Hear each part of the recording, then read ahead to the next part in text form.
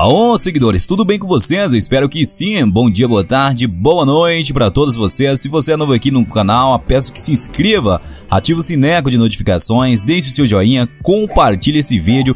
Vem comigo, gente. Eu exclusivamente vou colocar aqui um vídeo para vocês sobre a, a né, Bia Michele, que acabou divulgando aí nas suas redes sociais sobre o fim do relacionamento com o MC Gui.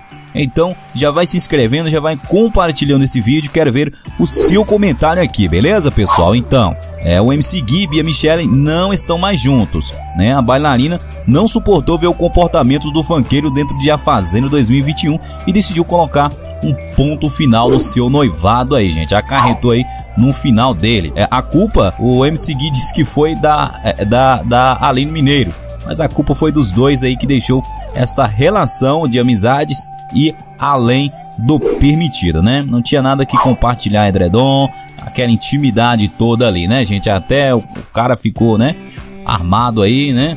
Armado até os dentes, enfim, acho que vocês estão me entendendo, né? Ao abraçar ela ali, ele ficou armado, viu?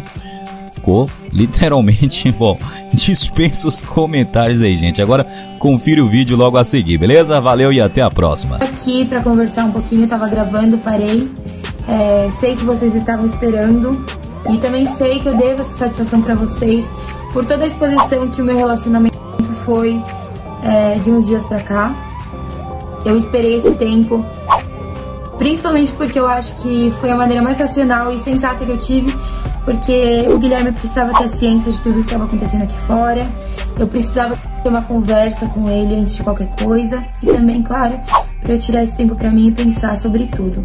É, a gente decidiu, foi uma decisão de ambas as partes, terminar o nosso noivado e não vai ser fácil, mas eu priorizo sempre a minha paz. Sei que isso é o melhor para mim. E eu quero sempre, gente, de verdade, trazer para vocês, independente do que eu esteja passando ou não, a minha luz, a minha alegria sempre, tá bom? E é isso. Eu desejo tudo de melhor para ele, de verdade. É... Sempre vou desejar. E vida que segue, assunto encerrado, tá bom? Fiquem com Deus. Um beijo.